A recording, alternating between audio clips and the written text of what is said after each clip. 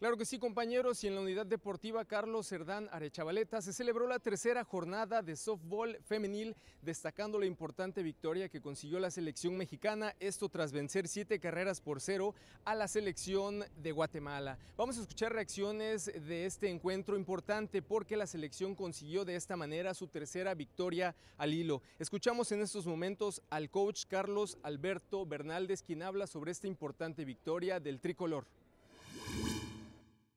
Gracias a Dios se nos siguen dando las cosas. Eh, Las muchachas siguen siendo, siguen demostrando que de qué están hechas, para que, cómo se prepararon. Y el juego más importante para nosotros es el día de mañana.